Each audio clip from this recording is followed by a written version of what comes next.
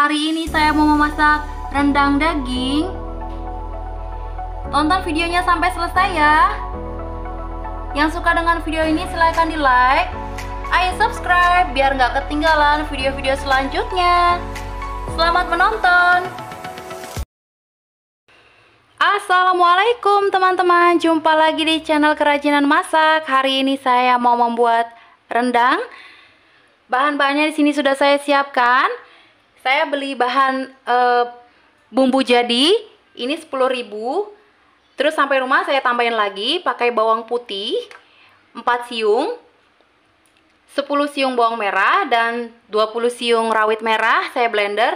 Lalu saya tumis bersama bumbu yang sudah saya beli di pasar 10.000 lalu ini 1 kilo daging. Harganya 120.000 di sini ya dua buah santan yang kecil,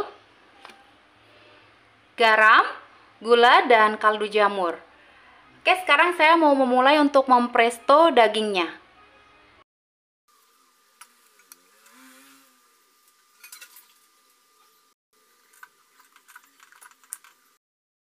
Sudah 35 menit di presto, sekarang kita matikan apinya.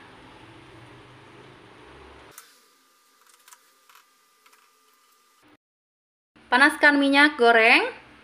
Kita tumis bumbu yang sudah disiapkan tadi.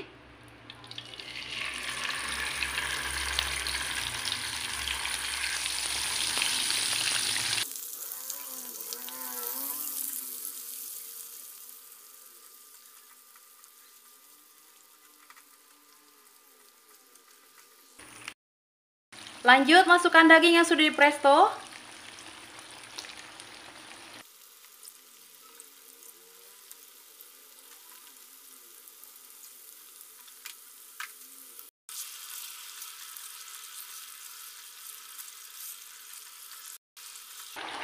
Oh ya teman-teman jangan lupa ya diperhatikan kalau kita bumbunya beli yang basah di pasar yang sudah jadi itu biasanya udah rasa asin. Dicoba dulu tes rasa sebelum dikasih garam. Ini saya tadi sudah coba rasanya udah asin belum dikasih garam. Jadi saya tinggal tambahkan gula sama kaldu jamur saja.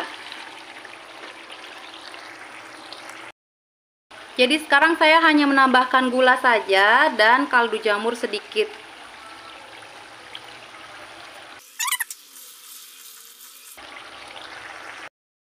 kita masukkan santannya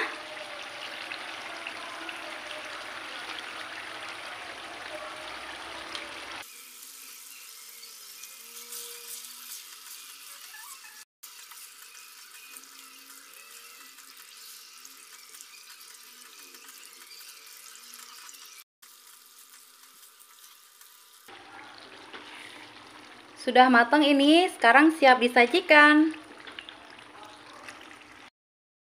Rendang dagingnya siap disajikan. Terima kasih teman-teman sudah menonton. Semoga bermanfaat. Sampai jumpa di resep selanjutnya.